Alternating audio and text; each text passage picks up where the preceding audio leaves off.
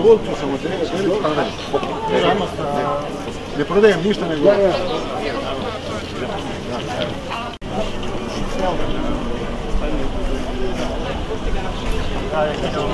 Ministarstvo obrane čak mi je ovaj, poslao helikopter za naše ljudi i sve da ja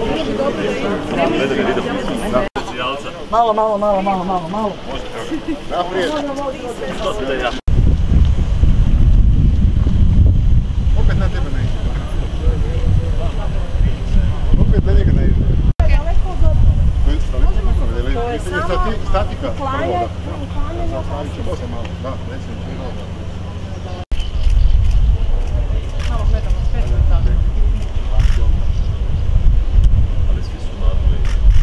je dobili? Da. Ne, fasada je okej, da. Ali nije, Ali nije, nije- nije urešeno. Da, da. Dobro, onda dojdi si ovdje. Budemo Ovdje nekako- dođi k meni, ovdje k meni. Evo. Vidi kako, koji je to sistem? Ja ću ja koliko je hoću. Mi bi vratili svoje. Pokloni, poklon, to nema. Ne, ne, pokloni Ne su. možete kaj god hoćete Vratiti napraviti. poklon je uvreda. Sluša, reci da im zapjeva jedno. Neć me sad pjevati. Mi me doma na zajedno. pjevali, jel da? Ajmo zajedno. A to nije kak je ovo novčanik ima koji CD viška? Nemam CD, ne nosim. Nosite vi njega uvijek. Ja mogu da. Može pjevat, a ne mogu da. A neće se reproducirati, neće se reproducirati. Ajde, ajde. Bila je na 500. Bila je na divo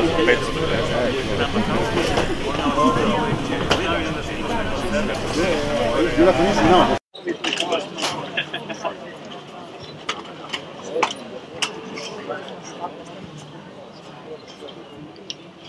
po struci arhitektica, pa će se i ona osvrnuti e, na trenutnu situaciju i zastoj zapravo u.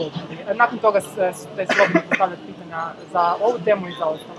Hvala lijepa, evo viđamo se dan u dan.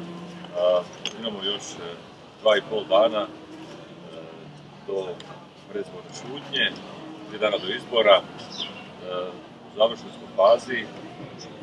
Zanimljivo je u stvari kako život sve posloži.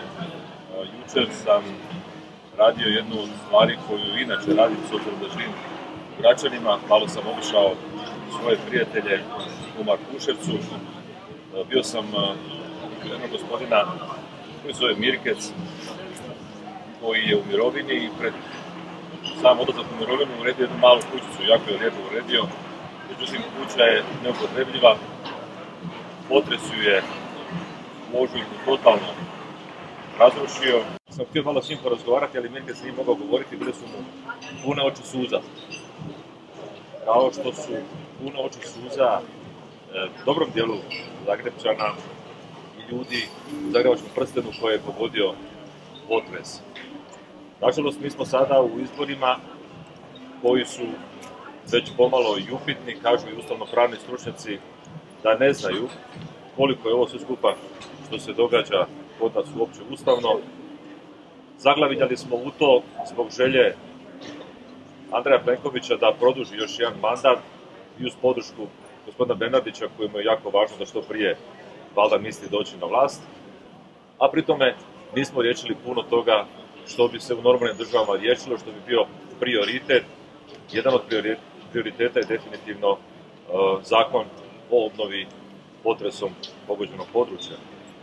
Pa evo, ja se nadam da će i ova današnja tiskovna konferencija ovdje u centru Zagreba, koji je također snažno pogođen potresom, da ćemo dakle poslati poruku da u nekoliko dana možemo birati između vlasti koje je važno da bude na vlasti i nas kojima je važno da na toj vlasti budemo na usluzi svim građanima, svim državljanima i da obrišemo suze i s ovog lica i s lica svih onih građana koje čeka vrlo, vrlo teška i neizvjesna jesen zbog političkih ambicija ljudi kojima su samo briselske odluke i njihova dobrobit na pameti.